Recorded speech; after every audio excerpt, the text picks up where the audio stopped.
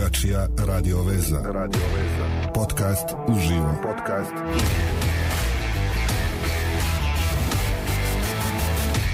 Drugačija radio veza.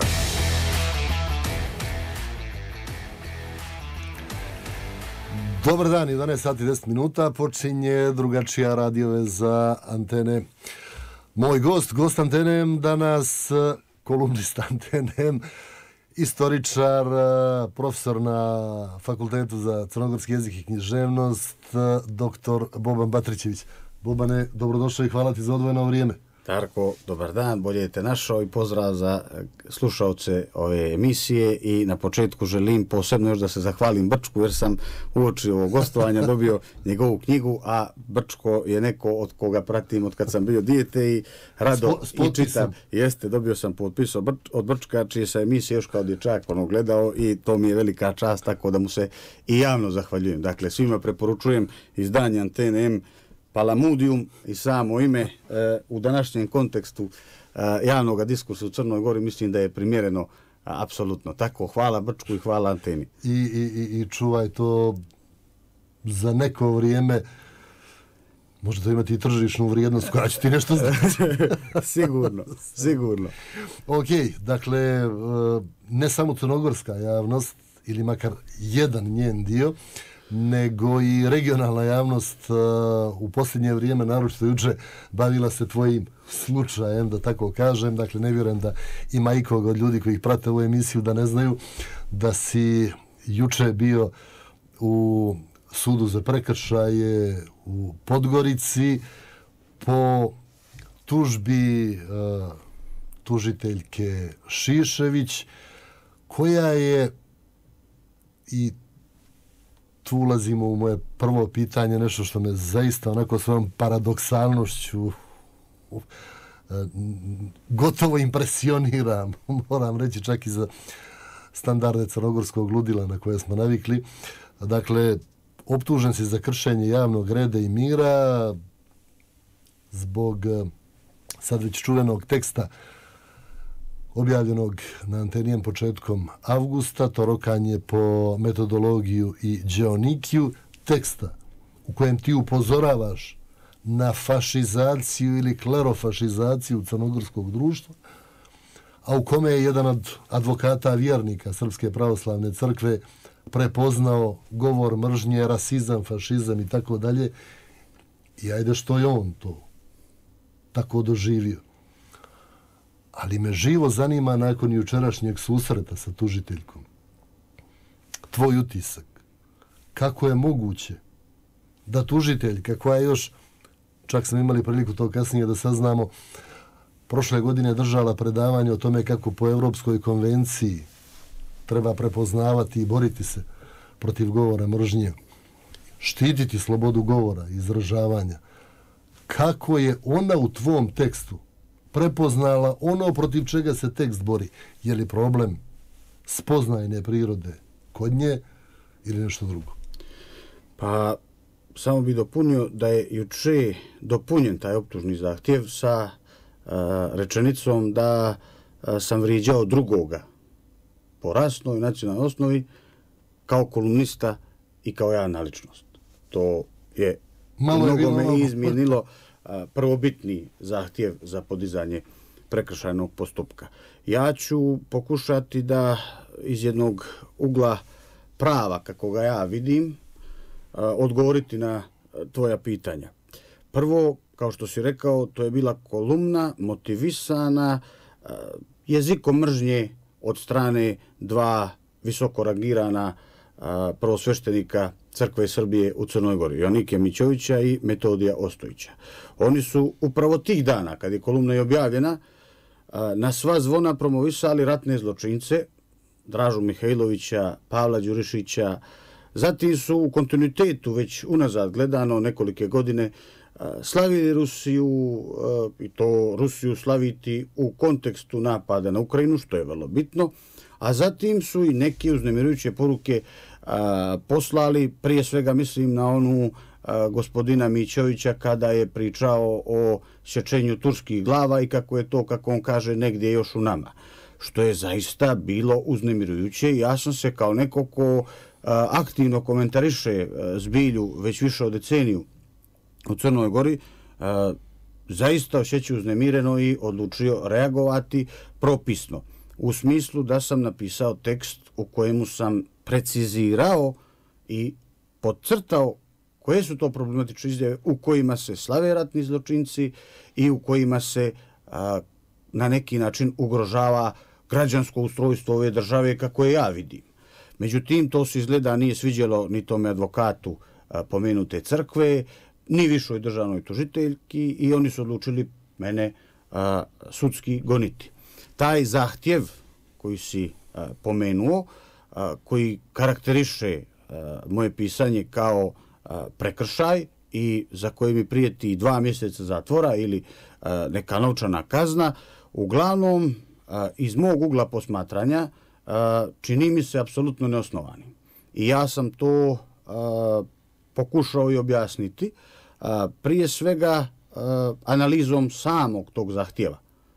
Ja ne bih sad ovdje govorio ni o njoj lično, ni o sudiji lično, nego o dokumentu. O dokumentu na osnovu kojega se potražuje da se Bobamba Trićević kazni. Izvini, možda je moj... Ja ne, ne, nisam ja to tebe, nego razumiješ. Mene ona Absolutno. kao Snežana Šišević ili kako se već zove, ne zanima ni Razumijem, nego kao neko ko je potpisao nije, taj dokument. Da, da ona Razumijem. nije u ime države Pođimo, to radila kao tužitelj. Tako je, tako je. Slažem se ja sa tim što si ti rekao. Nego hoću da govorim konkretno o samome dokumentu, jer on u mnogo me sliku u kakvom se stanju nalazi ovo društvo. Prije svega, ja sam u toj odbrani koju sam juče želio iznijeti, a tijelo mi to nije bilo dozvoljeno zbog činjenice da je navodno to preobimno i kako je pobjeda pisala, koja je pratila taj slučaj uživo i sudnice, prekidan sam tokom e, svog izlaganja, te smo onda odlučili da to predamo sudu, pa da se onda sud o tome naknadno Ko te prekida, sudije ili tužitelj? Pa oboje, oboje su ovaj, uh, imali uh, svoje komentare i to je zbilja bilo uh, pokazatelje zašto je bilo važno imati nekoga od medija u sudnici koje to objektivno mogao da prenosi, da ne moram ja da govorim kad već o tome govori treće lice koje je školovano za taj posao. Ali naravno, nije dozvoljeno da uđe. Da, da naravno. Tako je. Tako. I uh, što je tu važno reći, ja sam uh, taj uh, svoj iskaz pokušao bazirati na tri nivoa. U prvom nivou sam želio i uradio sam tekstološku analizu samoga a, tog takozvanog optužnog akta, odnosno zahtjeva za prekršajno gonjenje, u kome sam želio pokazati da taj dokument apsolutno ne odgovara onome za što se ja gonim. Prije svega, taj dokument e, čak na tri mjesta, od sav svega tri mjesta navodi naslov kolumne sva tri put pogrešno. Dakle, možete zamisliti, tri od tri to Haland nema ovaj kad igra. Dakle, da počnemo od toga, da se nijednom u tome dokumentu pravilno ne navodi naslov moje kolumne. Potom, apsolutno je vidljivo, što možete čitati u odbrani koju sam danas objavio javno, vidjet ćete da e, nisu ispoštovani standardi citiranja i prenošenja mojih misli. Izvini, tu odbranu je u cijelosti danas objavila pobjeda. Je jeste, tako, kao, kao dodatak. Jeste. I to je vrlo važno da javnost vidi uh, kako se boriti protiv uh, nepravedne osude da ste nekoga vrijeđali uh, na javnom mjestu i tim izazvali rasnu i nacionalnu mržnju, što apsolutno nije tačno. Prvo, ja sam želio da ukažem na to da postoje ogromni propusti u samome pisanju tog dokumenta, da se dijelovi moje kolumne prenose bez konteksta, da se ono što se navodi da sam rekao ne navodi pravilno, da nisu ispoštovani standardi citiranja, čak se ne stavljaju na pojedinim mjestima ni navodnici, čime se krši sama originalnost iskazanoga, a onda tamo gdje se e, gdje bi se nešto moglo uh, komentarisati kao da je meni u prilog, toga nema. A prije svega mislim na jednu od ključnih rečenica. Nakon citiranja vladika iz crkve Srbije, ja sam stavio rečenicu nakon svega možemo zaključiti, što jasno implicira da sam iznio vrijednostni sud na osnovu onoga što su oni kazali, toga nema u tome dokumentu, nego je bez konteksta uh, prenešen moj vrijednostni sud. To su samo neke od stvari koje sam ja kao neko ko je laik za pravo uvidio. Da ne govorim o nekim drugim stvarima koje cijenjeni advokat Nikola Martinović uvidio. O tome bi on mogao sto puta bolje od mene da govori sa pravnog aspekta, ali kažem, zamislite kad jedan laik za tu oblast može na taj način da komentariše jedan zahtjev za prekršajno gonjenje. Potom, u ta tekstološka analiza će pokazati, vidjet ćete to sami, da a, taj dokument apsolutno ima problema i sa pravopisom. Ima problema i sa... To si ti uče naglasi odmah kad si izašao iz, iz sudnice. A pravopis se stalno pominje u Crnoj Gori. Je li, ovog, je, je li ime ovog naroda ili onog naroda očigledno da još vlada neka šizofrenija i da nisu neki standardi ispoštovani, a ja sam to odlučio napisati i kao autor, ali i kao istoričar. Zato što sam svjestan da će taj predmet ostati nekad arhiviran u državnom arhivu. I žalosno je da za 20 godina ljudi koji budu istraživali istoriju pravu Crnoj Gori vide da smo imali takav problem sa administracijom. E, potom, ono što je vrlo važno, ja sam drugi dio svoje izjave bazirao na kontekstu vremena i prostora, odnosno predložio sam motivaciju koja me je pokrenula da napišem kolumnu na portalu za koji pišem, Antena M. I tamo sam jasno precizirao a, kako sam i zašto izdvojio baš te izjave a, spornih vladika. O čemu se tu radi? Prvo, ja sam imao namjeru da objasnim da u Crnoj Gori zemlji koja gaji građanske vrijednosti ne možemo očekivati da ljudi koji su vrlo istaknuti u svojim zajednicama na taj način promovišu jezik mržnje i ratne zločince. Drugo, ja sam kao autor morao, a to ti odlično znaš, kao neko ko piše brojne tekstove... I koje na kraju odobrio objavljivanje, objavljivanje. te kolumne. Da svaka kolumna ima dramaturgiju, da svaka kolumna ima svoj način, mehanizme, literalne mehanizme koji su mu dozvoljeni i da je na autoru potpuna sloboda koji će da iskoristi od tih mehanizama. Ja sam se odlučio za postupak upitnika. E, zamislite vi sad da svako ko čita onu kolumnu jasno vidi da sam ja autorski napravio upitnik i tamo naveo za ove prilike iskoristit ću upitnik sačinjen od pitanja naslonjenih na osnovne postulate na kojima počiva hrišćanstvo. A to su kogod je upućen u hrišćanstvo, mir, ljubav, oprost. Dakle, to su tri krucijalne noseće ideje e, a, Novog Zavjeta, novovjekovne etike, postavio ta pitanja autorski, pozivaju li na mir i onda dao izjave koje oni uh, su dali. Potom, na ljubav i na oprost, preložio njihove izjave. E, zamislite, u tom uh, zahtjevu za prekršajno gonjenje se navodi kao da sam ja direktno pitao njih dvojicu da oni odgovore na taj upitnik i da su oni meni odgovarali. To ćete vidjeti kad detaljno budete pročitali a, a, moju odbranu, da bukvalno sam optužen da da sam postavljao pitanja njima dvojici, a ja njima pitanja nisam postavljao, koristio sam literalni postupak i mehanizam koji sam ja mislio da je e, e, e zato ja sad ponovo, ponovo dolazim na ono osnovno pitanje. Nakon tog jučerašnjeg susreta, razgovora uživo, imaš li jasniji utisak? Da li je moguće da državna tužiteljka ne razumije šta je autorska sloboda i ne razumije da kolumne nema bez stava, a stav je vrijednostni sud, nego stvarno misli da su citati izjava koje su po svom sadržaju veličanje ratnih zločinaca, fašizam, klerofašizam, da su fašizam. Ja sam pokušao juče, ali zaista nije mi u jednom momentu bilo dozvoljeno, pokušao objasniti a, sličnost između postupka istoričara i pravnika.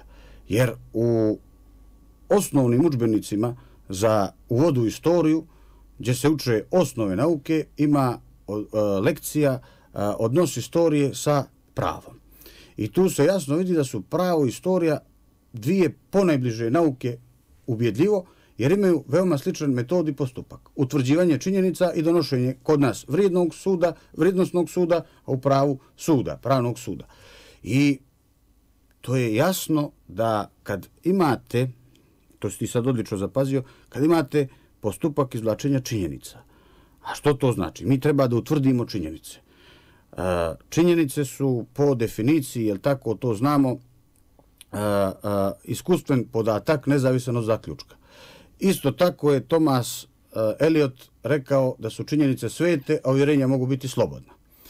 Ako sam već činjenično utvrdio da su njih dvojica veličali Dražu Mihajlovića i Pavla Đurišića, pa kakav su očekivali vrijednostni sud, da ću da ih pohvalim zbog toga, to se kosi sa a, komisijom za ratne zločine koja je nedvosmisleno utvrdila da su obojica ratni zločinci i plus sudska presuda Draži Mihajloviću koja je nedvosmisleno pokazala također da je u pitanju ratni zločinac i saradnik okupatora.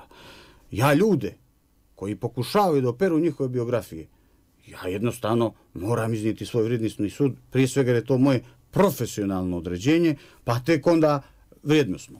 S toga aspekta gledano, meni je vrlo bilo drago što je juče u sudnici bilo predstavnika NVO sektora, žao mi je što nisu mogli da budu svi, također mi je žao što nije bila ni antena od medija, a, bila je direktorica Centra za građansko obrazovanje Dalibor Kuljarić, koja je ubrzo poslije toga imala televizijsko gostovanje u kome po meni izuzetno objektivno prenijela atmosferu i sudnice i upućujem ljude da pogledaju tu njenu izjavu jer mislim da je to bolje čuti od nekoga ko nije direktni učesnik uh, uh, sudskog procesa. Je li bilo nekog iz međunarodnih organizacija, ambasada? Da, bilo je dvoje predstavnika ovaj uh, ambasada uh, koje su u Crnoj Gori i oni su uh, također pratili što je bilo vrlo značajno da se vide u slovi u kojima se uh, uh, odvija pravni život u Crnoj Gori. Uh, s tim što naglašavam, ja zaista nemam potrebu ni želju da se miješam u nezavisno suda. To je tako kako je, na nama je da to mijenjamo i mislim da je vrlo bitno da i taj segment bude uključen u sve a, a, a, a, refleksije koje ovaj slučaj može imati. Sad te moram pitati nešto što, što će možda nekom zazvučati grubo, ali nemam trunke dileme da je suštinski bitno. Nikola Martinović, tvoj advokat, jučer rekao da na dijelu imamo inkviziciju, da su popovi proglašeni za bogove, da, su praktično, da je crkva praktično postala tabu tema i da za nju važe potpuno drugi aršini nego za drugi. Na osnovu ne samo ovog tvog slučaja, nego i nekih ranijih novinarskih dijela koja su procesuirana, ali i na osnovu nekih drugih uradaka novinarskih koji nijesu procesuirani, je li trenutak da se ovdje otvoreno postavi pitanje? Da li je došlo ne do promjene narativa, nego do promjene sistema vrijednosti koji institucije ili dijelovi institucija štite. Imamo li mi na dijelu tužilaštvo za koje su vrijednosti koje su promovisali Draža i Pavle Đurišić, vrijedne državne zaštite? Ja mislim da je apsolutno vrijeme i da je uvijek vrijeme za takve stvari i drago mi da se otvorio to pitanje. Moj lični stav je i nevezano za ovaj slučaj da je a, Crkva Srbije u Crnoj Gori postala a, organizacija koja se često ponaša kao institucija koja je iznad ustava ove države, koja je iznad zakona ove države i čija volja određuje pravce politički i društvene u ovoj državi.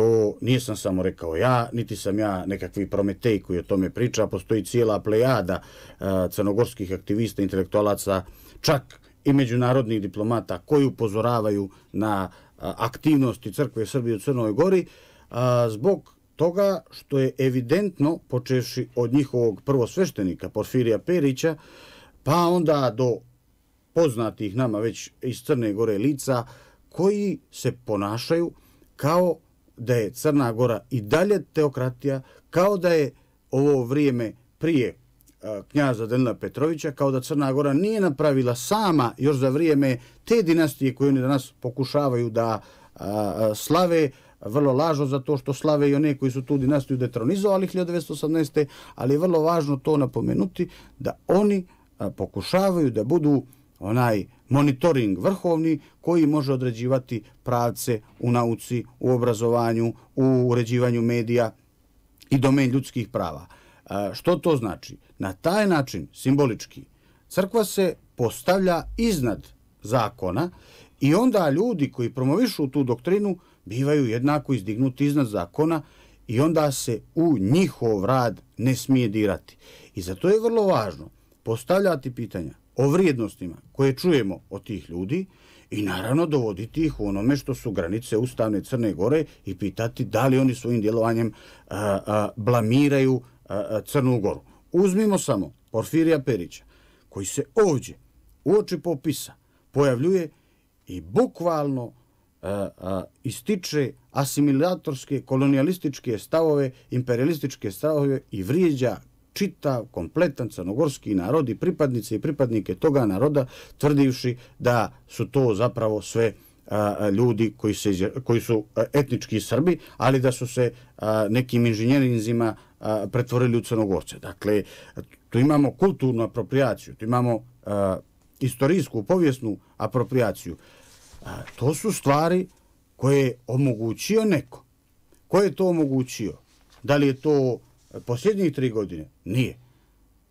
Crkva Srbije u Crnoj Gori imala je povlašćen položaj i prije 2020. godine, jer se a, zbog pogrešne politike računala da će ta crkva raskinuti sa svojom tradicijom slavljenja ratnih zločinaca ili promovisanja ratnih zločinaca, jer ne zaboravimo da među klerom te crkve imamo i ljudi koji promovišu i ratne zločince iz posljednjih ratova u Bosni i Hrvatskoj koji koji smatraju da su to srpski heroji, iako su ti ljudi od tribunala u Hagu okarakterisani kao ratni zločinci.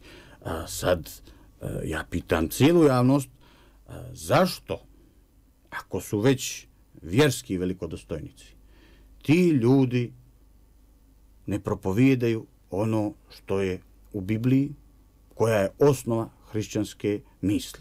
Zbog čega oni imaju potrebu da nam pričaju o istoriji kad postoji profesionalna grana nauke koja se zove historiografija i koja se bavi prošlošću. Zbog čega oni imaju a, ta prava da krše Hristovo učenje, da nas uče da su abortusi pogrešni, da moramo da živimo tradicionalno, a te tradicionalne vrijednosti nije su onakve kakve Bogane, mi promovišu. danas imamo, izvini, ministra zdravlja koji također misli da su abortusi pogrešni.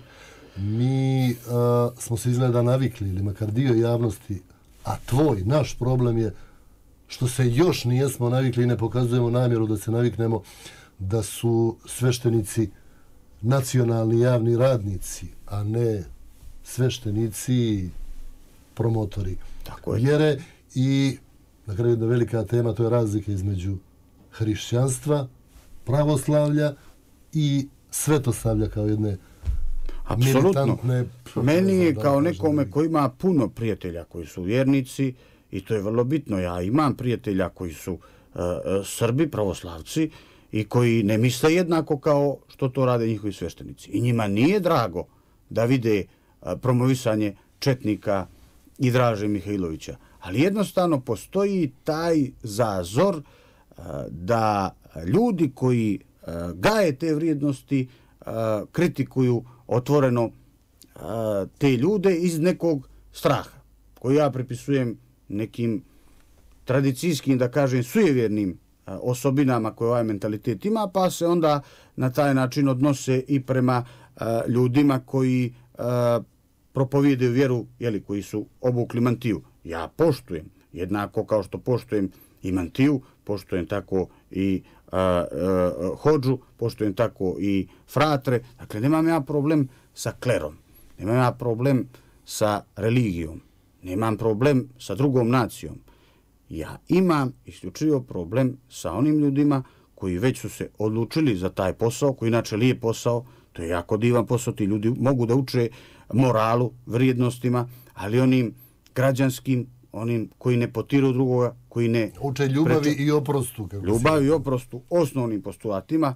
E, dakle, takvim ljudima, takvim sveštenim licima, ja zbilja skidam kapu i pozdravljam svaki njihov napor da izmire ljude i da šire toleranciju. Okay. Mm. Ima samo još jedna mm. stvar koja je ovdje bitna da se unese u narative naredne i generalno da uđe u, u diskursije pitanje a, kako mi vidimo pomirenje. Znate, ono pomirenje koje e, nam aktuelna vlast nudi je zapravo najveća svađa i dijeljenje e, po etničkom vjerskom ključu Crne Gore.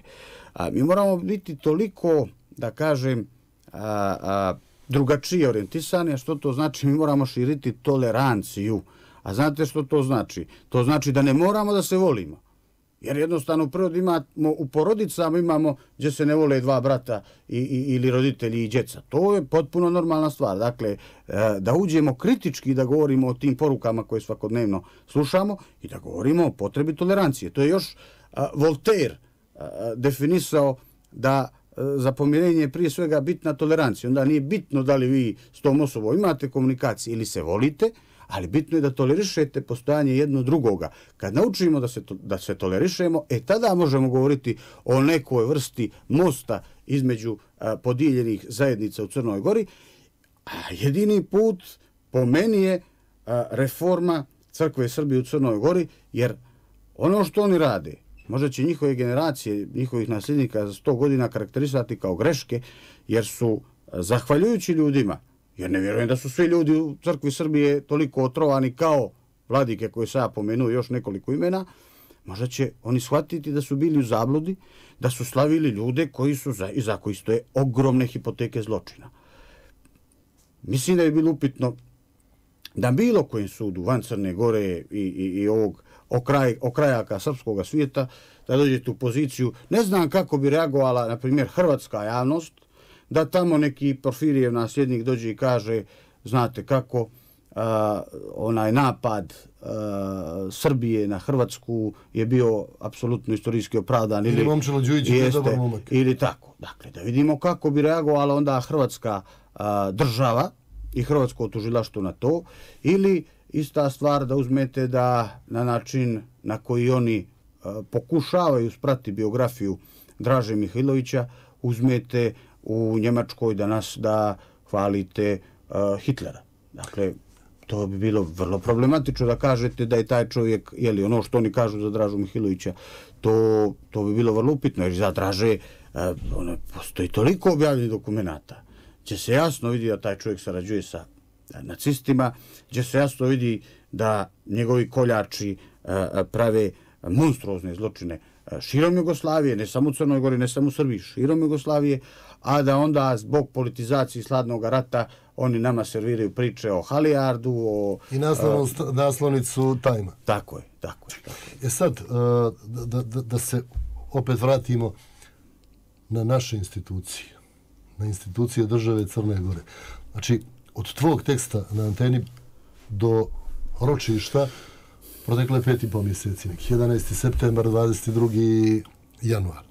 Prije deset mjeseci, na jednom portalu koji ne zaslužuje da mu ime bude izgovoreno na antenijem, objavljen je jedan monstruozan tekst ujedinjenje ili ukrajinizacija evo, iz pera protojereja odnosno jereja Ognjena Femića dakle reći ću samo monstruozan tekst na koji su mnogi nadležnim organima skrenuli pažnju, deset mjeseci je prošlo, niko prstom mrdnuo nije. Nekako mi je čak suvišno da te pitam, a moram te pitati. Kakav zaključak iz toga sad čovjek da izvuče? Da su, popovi, mogu. da su popovi iznad zakona. Nema drugog odgovora. I sad, pazi, uh, samo sam jutro pred ulazak u studio baci oko na, na nešto na šta, na šta ne bacam oko gotovo nikad. Pa jeste samo ovaj naslov. Zašto kući traže izmještanje spomenika Mirka Petrovića iz centra Podgorice? Dvije tačke. Krvnik sa Cetinja klao djecu u Kolijevci, pa mu DPS podigao spomenik u njihovom dvorištu. Užas. Nema govora mržnje ovdje.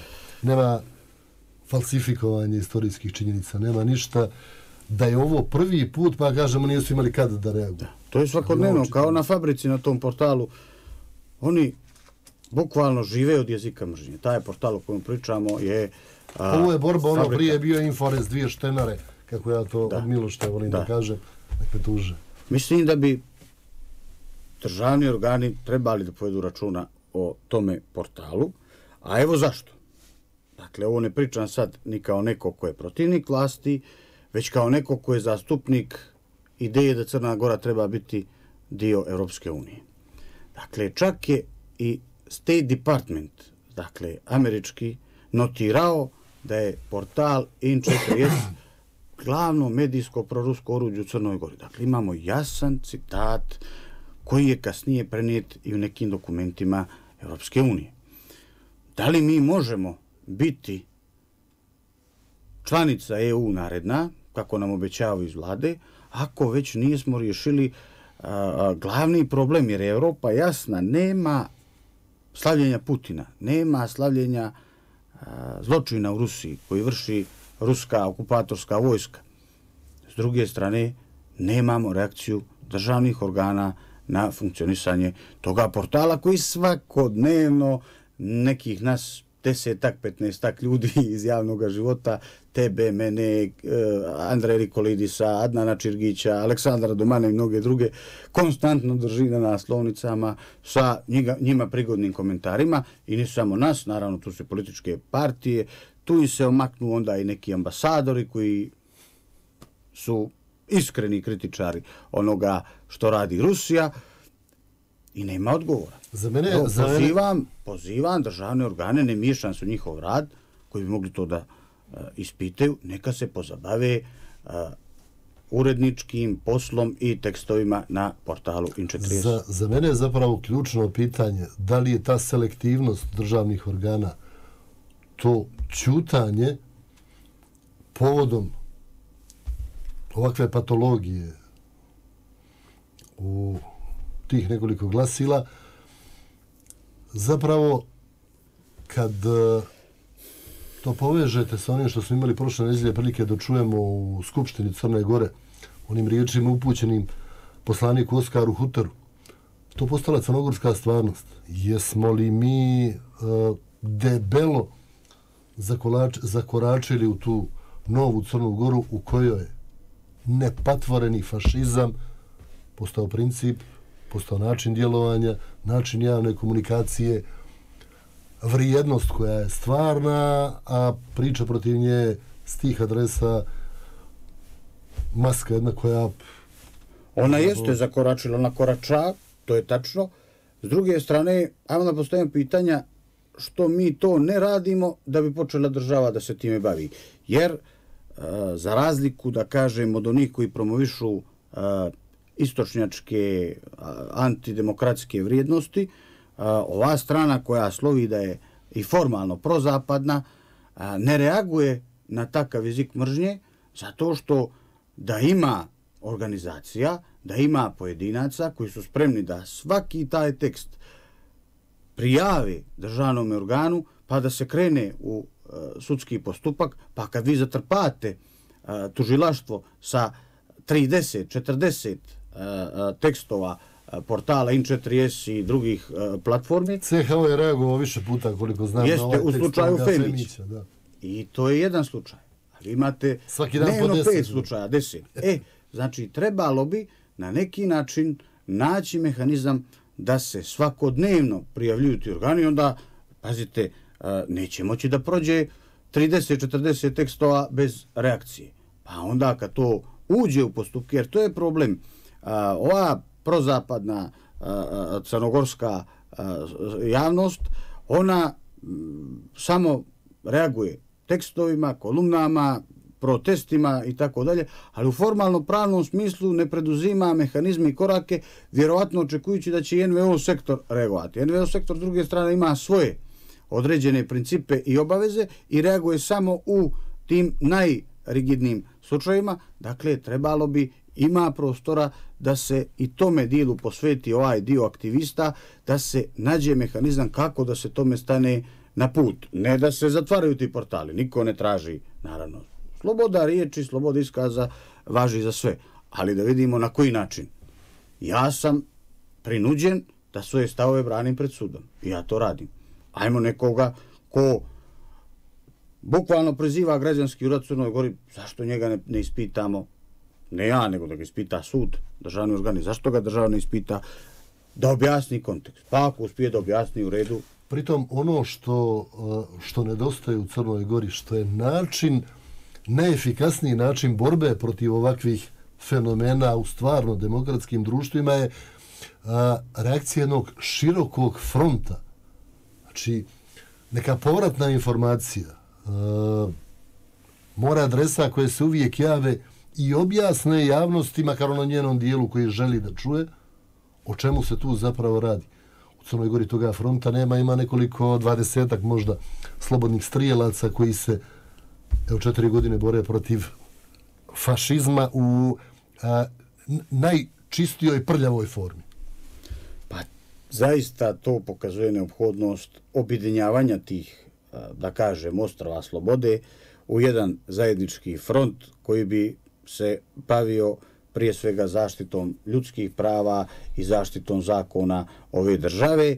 Ne mora to biti politički front, ne mora to biti a, front a, koji će imati neku, da kažem, individualnost, vrlo je bitno da svi ti akteri koji očuvavaju građansko uređenje ovoga društva i koji apeluju budu, budu sinhronizovani. Mislim da je to najviše E, bitno, a to se može postići tako što bi svako na mjestu na, uh, uh, učinio mjesta onome drugome.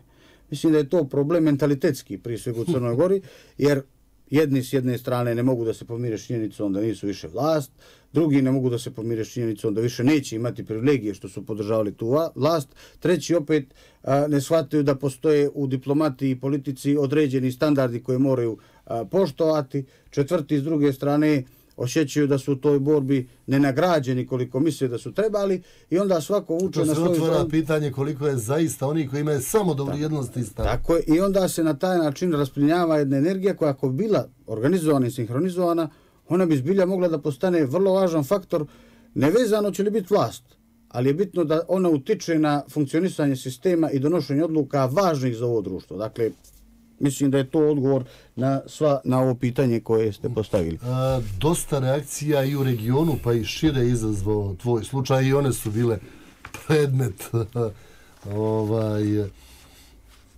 vrlo tendencijoznog komentarisanja i obrade na ovim portalima, ali dosta njima danas... Dosta, bilo je tu uh, vrlo živopisnih naslova. Je, ali, ali čini mi se da uh, bi i to mogao da bude neki dobar znak. E, recimo, ja sam vidio od Vesne Pusić preko Romana Jakića i mnogih drugih adresa zainteresovali su se za ovaj slučaj i ne znam, nisam stigao da ispratim juče da li je i u medijima u regionu uh, on obrađivan, ali ne protiče uh, onako ispod tiha kako je to možda i bila namjera organizatora cijele priče, prije svega e, rukovodstva suda za prekršaje koje nije izašlo u susret zahtjevima da se obezbijedi neka veća sudnica u kojoj bi mogli da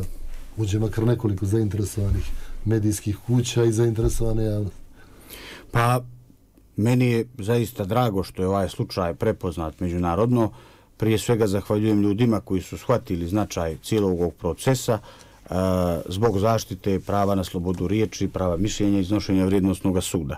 Uh, prije svega moram se stvarno zahvaliti e, svojim prijateljima iz Londona, Pen International, koji su zaista vrlo aktivno uzeli da se bave ne samo mojim slučajem, već i slučajem i Andreja Nikolidisa, i Popovića, i Vujovića, dakle svih njih koji su posljednjih godina trpjeli javno napadati, čak je njihova slika bila prezentovana i u Crnogorskom parlamentu od strane pre, e, premijera, što je na svjetskom kongresu upsali e, na kojemu sam bio delegat, bilo frapantno e, dočekano od strane predstavnika svih penova svijeta, budući da ne postoji primjer u posljednjih godina iz Evrope, gdje jedan premijer kaštiga pisca u parlamentu na premijerskom času.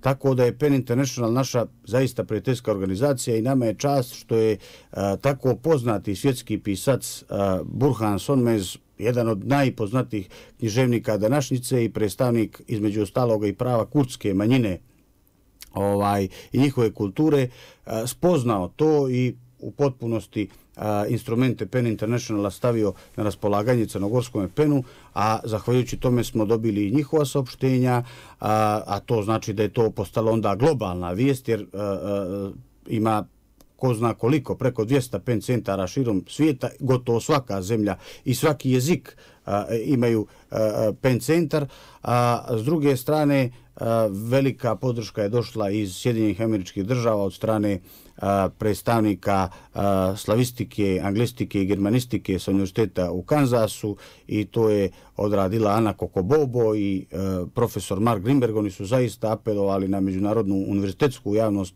na ovaj slučaj.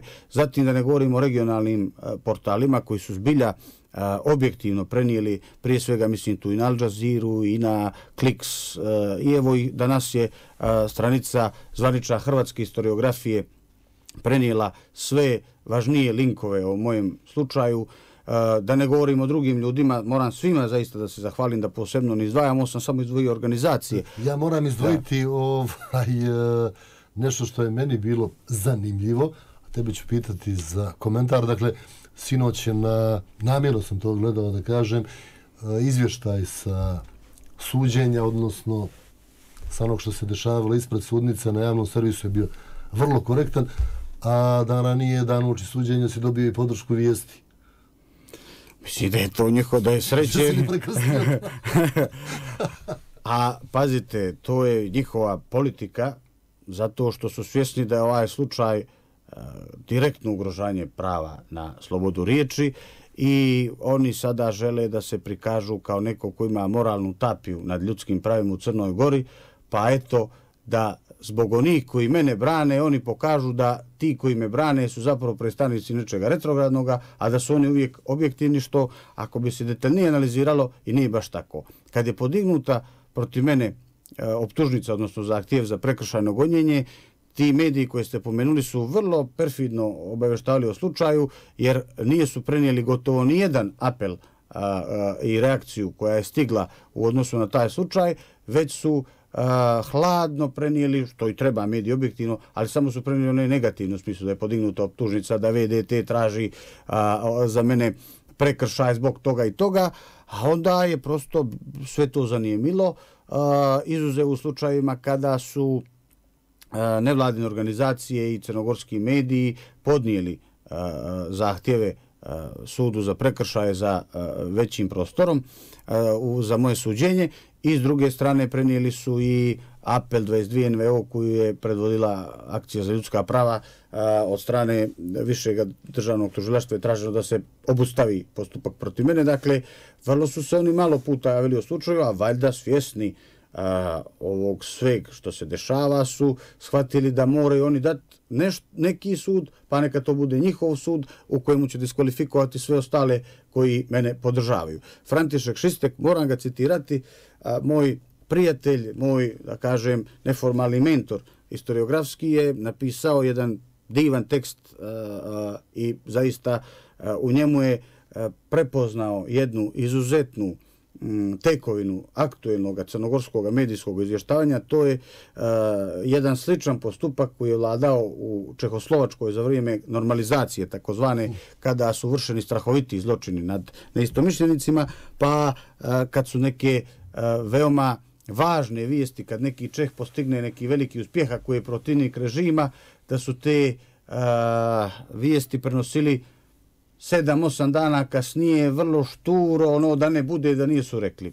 Prije bih rekao da se radi o tome nego o nekoj iskrenoj podršci. Tako da... A niko, mislim da nije, to- niko nije otišao toliko daleko da kaže u sad trpimo posljedice a, emancipatorske uloge crkve Srbije koju smo najavili prije četiri godine, prije na početku litijaške revolucije i kad smo tu vjersku zajednicu promovisali kao nosioca mira, stabilnosti, tolerancije Pa eto, ja bih samo rekao, et cetera. najbolja slika tog emancipatorskog što su oni viđeli iz te crkve, pomenut ću, dakle, to je jedan sveštenik koji ga je i lansirao sam vlasnik vijesti kao osobu s kojom se može razgovarati, koja nije retrogradna kao ostatak. Ista ta osoba prošle godine piše o Draži Mihajloviću hvalospjev i u potpunosti a, relativizuje sve zločine koji stoji iza Dragoljuba Draže Mihajlovića. Dakle, ako je to mjera emancipatorstva u redu, onda evo imamo to što imamo danas. A, mislim da će dugo vremena proći dok a, se taj negativan odnos i lične frustracije prema jednom dijelu suverenista a, od strane istih tih koji su nekad bili suverenisti, a, das, a danas su u dobroj koaliciji sa crkvom Srbije, da će dugo vremena proći da se sve te štete a, koje su napravljene isprave, jer zašto? Ređe sam, čini mi se, kod Đorđa Šćepovića u emisiji, ne volim da citiram sebe, ali mi je taj termin ostao u, u, u emisiji koja je ugašena. Je li, koja je ugašena. A, nažalost, i ovim putem šaljem podršku Đorđu. Milo mi je što je počeo da piše za antenu M i drago mi je što ćemo ga čitati svake neđelje. A, normalizovanje nenormalnog. I to je ono što najbolje opisuje e, rad takozvanih slobodnih medija, budući da su se uvijek trudili da relativizuju opasnosti od rada velikodržavnih e, organizacija, organizacija institucija koje promovišu velikodržavne ideologije iz regiona, e, zato što su ih predstavljali i minimalizovali opasnost od njihovog rada, kako bi njihova doktrina i agenda borbe protiv DPS-a, jeli, u suštini a, bila zaštićena. Danas je, taj izvini, na- Jakov Daković napisao odličan tekst o upravo jednom takvom tekstu relativizirajućem uh, iz pera piše Željko Pantelić uh, Jeste, na portalu. Jeste. I problem je što sad oni angažuju, mislim nije problem, to je njihovo stvar, njihove uredničke politike, ali što dovode takve ljude, poput tog Pantelića, koji će nas da uče istoriju u Crnoj Gori, da nam oni pričaju o božićnom ustanku i o borbi Crne Gore za nacionalnu emancipaciju i da stvaraju lažnu tezu kako je uh, svo šećanje na 918. iskonstruisano od strane režima DPS kako bi se stvorila nova nacija crnogorska, što je vrlo opasno i pomenuli smo ranije e, Oskara Hutera, volio bih samo da uputim javnost, da uputim i državne organe, da pročitaju sramotan, ne znam drugačije kako da nazovem, rasistički tekst o Oskaru Huteriku izašao danas.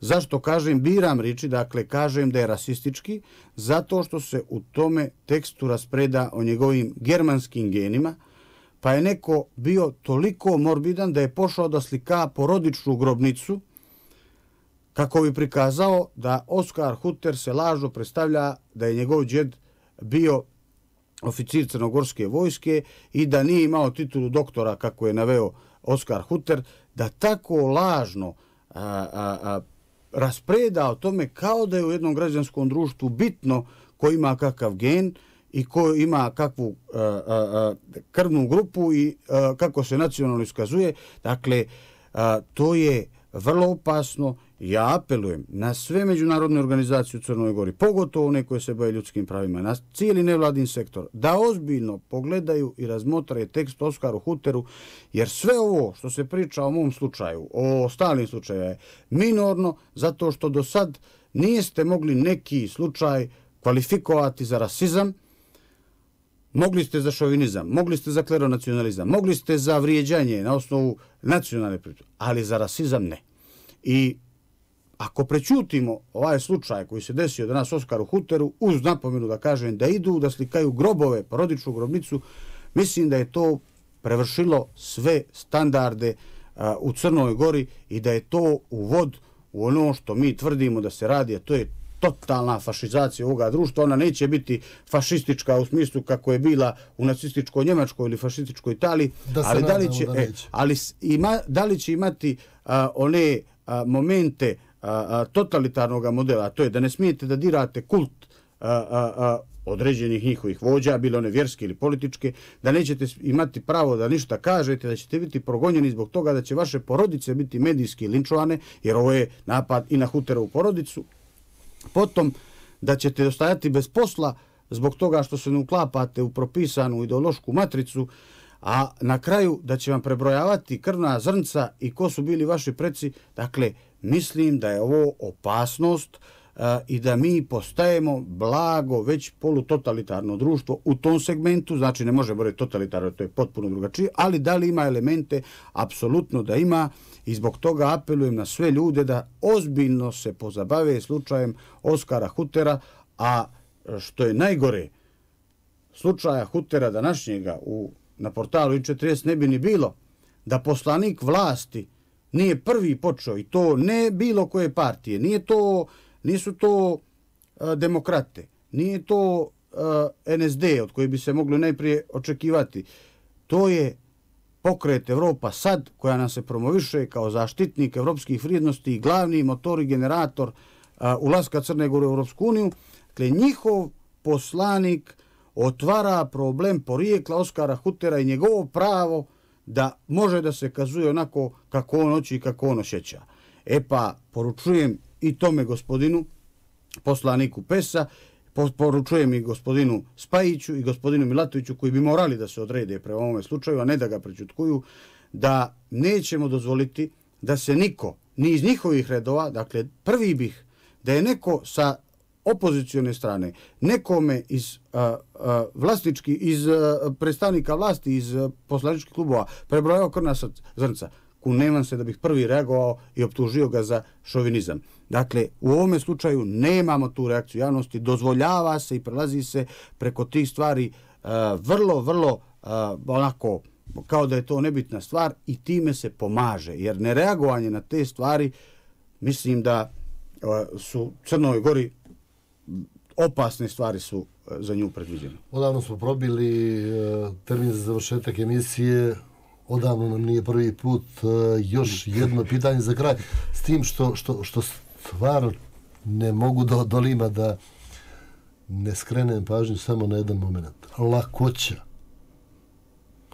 kojom se na javnoj sceni, a sad i u Skupštini Crne Gore, izgovaraju neistine koje su dokazive za dva minuta je postalo nevjerovatno. Ono što se dešava sa pričom o zastavi koju je Andrija Mandić stavio u svoj kabinet kad smo dolazili u dva navrata gosti. Ubjeđivanje crnogorske javnosti da je ona zastava u onom rasporedu boja dio crnogorske tradicije uprkos tome što je to provjerljivo ako ne za dva, za pet minuta. A eto uzmu, uzmu vlad, tekstove, neka uzmu sam te nem Vlada Jovanovića, Vlada Jovanovića u nastavcima. znači sve. Dakle ona, ona je raspored boja da, ali sa petokrakom. To je raspored boja zastave socijalističke republike Crne Gore ali sa petokrakom. Nikad bez petokrake. Tako je.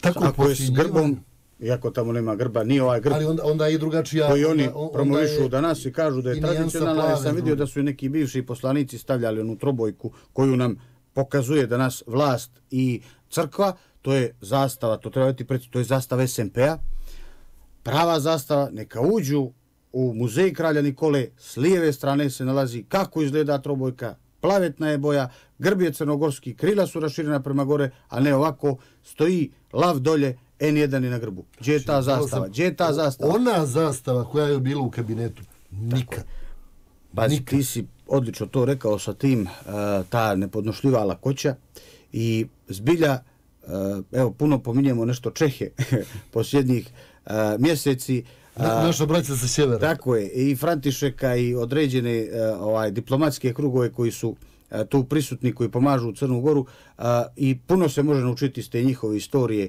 uh, uh, 20. vijeka i ja bih na kraj uh, zaključio sa Kunderom, jer on je to sjajno pisao u svojim romanima. Dakle, on se bavio profilom ljudi koji su bili spremni za rad svoje karijere i za rad svojih sitnih interesa da zatvaraju oči na sve zločine koje vrši vlast.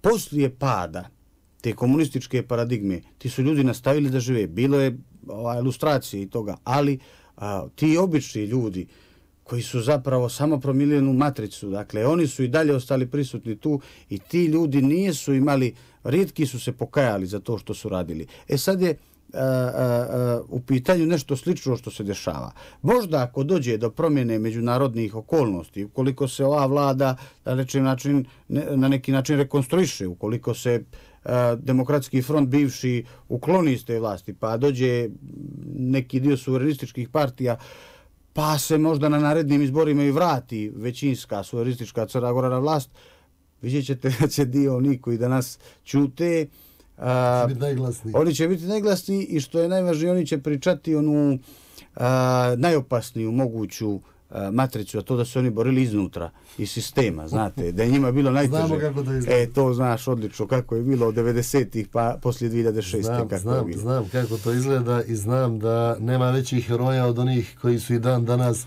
uh, neđe u pol glasa po kafanama ili u malo širem društvu da.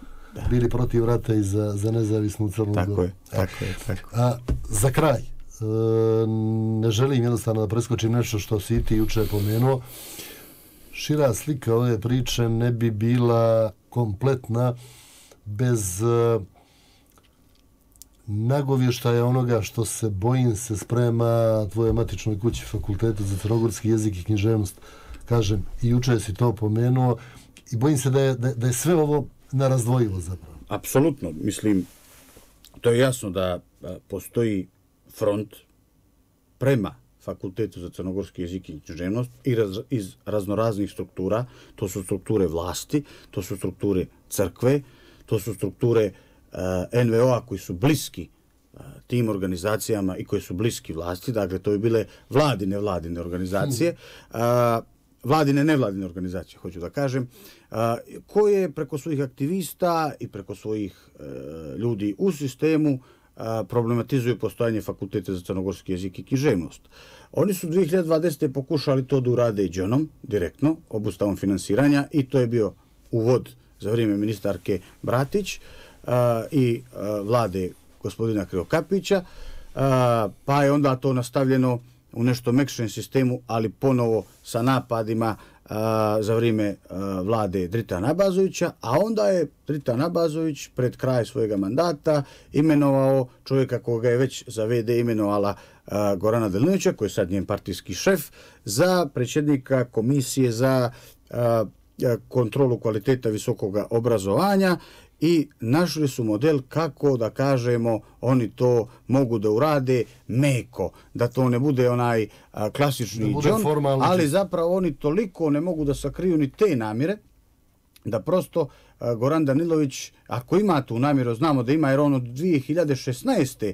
čak ranije kad se osnovi Institut za crnogorski jezik i književnost, dakle konstantnu kontinuitetu preko a, deceniju, problematizuje postojanje naše kuće, koji kad biva izabran kaže da će se pozabaviti time i da je on bio tada direktor te agencije ne bi izdao a, akt o akreditaciji i reakreditaciji studijskog programa Fakulteta za crnogorski jezik i književnost, onda a, znate na čemu ste. Sad je pritom, čemu, kažem, sad može. Pritom kažem, on toliko ne može da a, to sakrije da i kažem, u trenutku kad biva izabran on problematizuje ponovo FCK.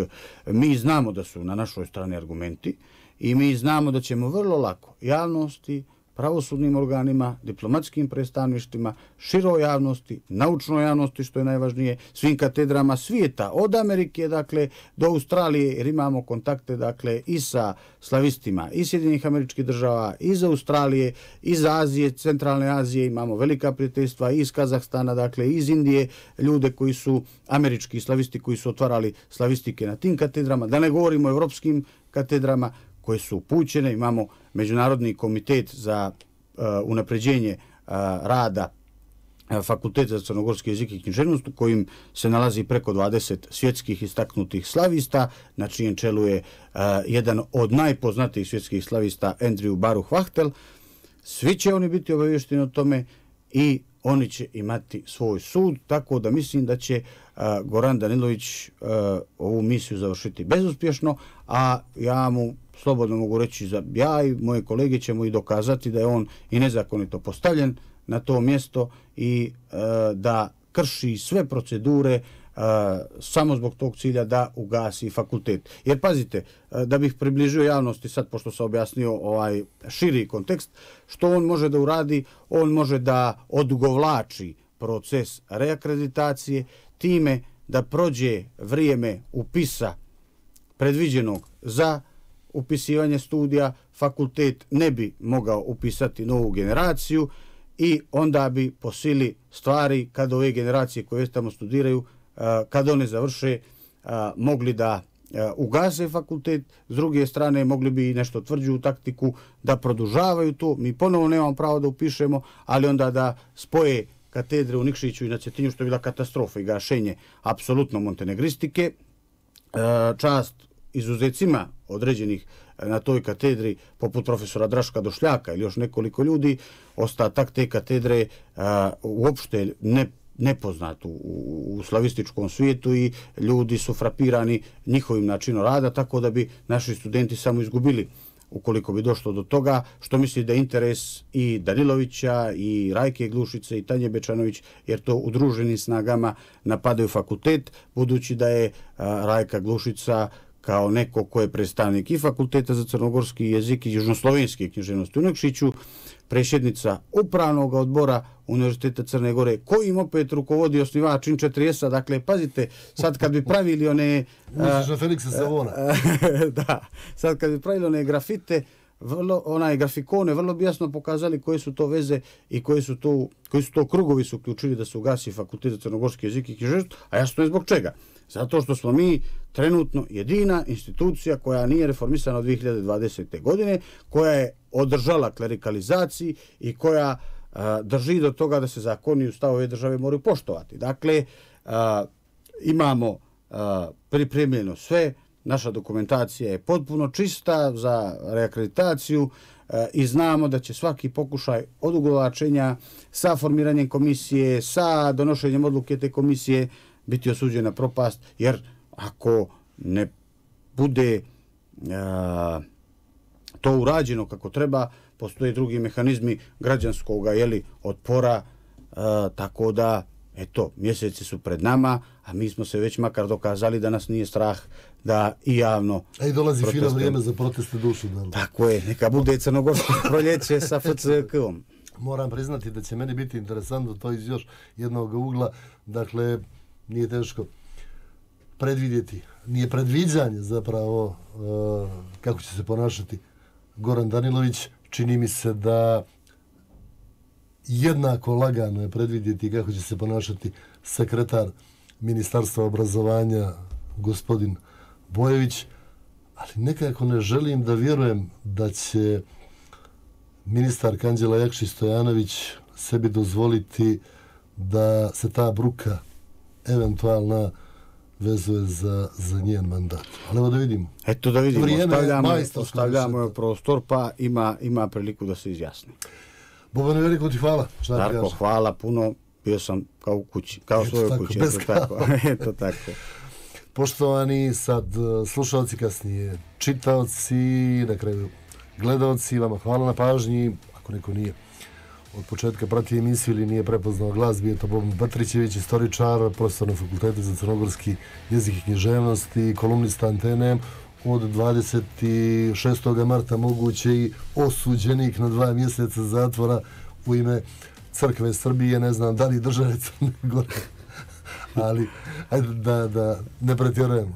Nešto mislim ipak da se, da se to neće desiti. Ne mijenjajte frekvencije, čitajte naš portal, znate da je to najbolje za vaše mentalno zdravlje i savršenu informisanost. Slava Ukrajini i da je vječna Crna Gora.